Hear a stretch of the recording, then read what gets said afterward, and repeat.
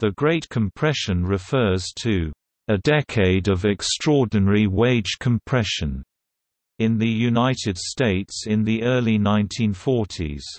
During that time economic inequality as shown by wealth distribution and income distribution between the rich and poor became much smaller than it had been in preceding time periods.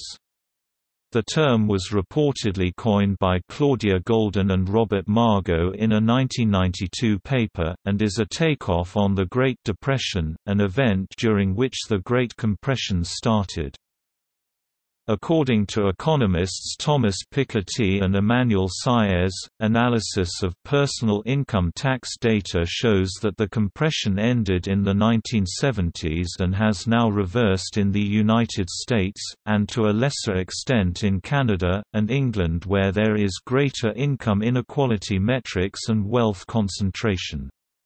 In France and Japan, who have maintained progressive taxation there has not been an increase in inequality. In Switzerland, where progressive taxation was never implemented, compression never occurred. Economist Paul Krugman gives credit for the compression not only to progressive income taxation but to other New Deal and World War II policies of President Franklin Roosevelt.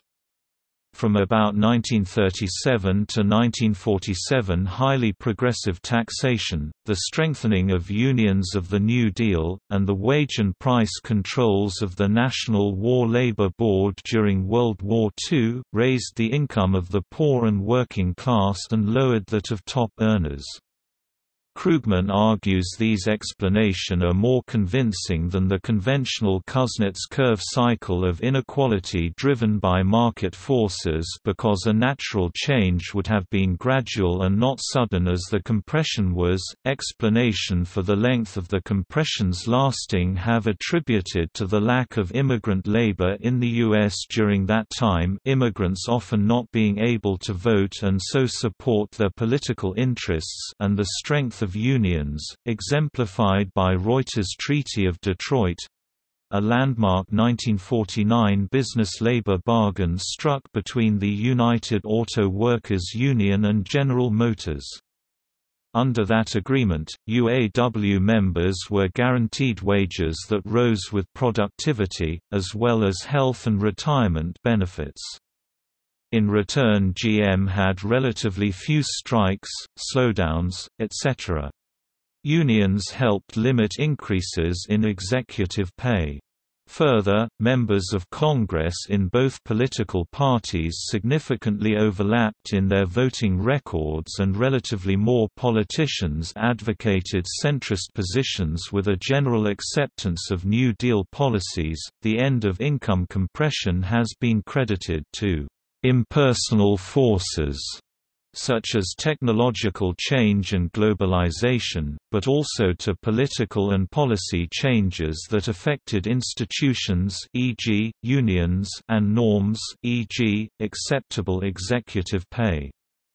Krugman argues that the rise of movement conservatism, a highly cohesive set of interlocking institutions that brought Ronald Reagan and Newt Gingrich to power, beginning in the late 1970s and early 1980s brought lower taxes on the rich and significant holes in the social safety net.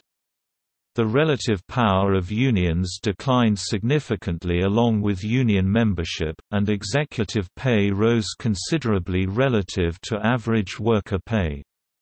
The reversal of the Great Compression has been called, "...the Great Divergence." By Krugman and is the title of a Slate article and book by Timothy Noah. Krugman also notes that era before the Great Divergence was one not only of relative equality but of economic growth far surpassing the Great Divergence.